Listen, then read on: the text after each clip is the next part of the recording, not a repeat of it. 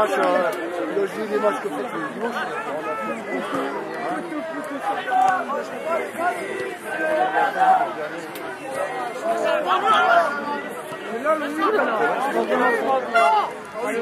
c'est celui qui dit oh 13. Oui, oui. C'est lui qui deuxième.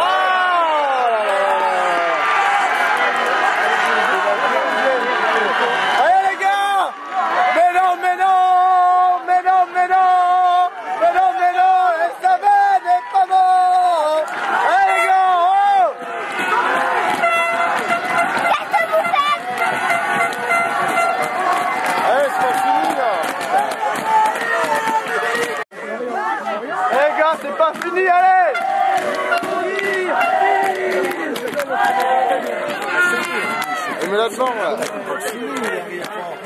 Je t'entends pas Ouais, c'est sur le vent maintenant. Hein.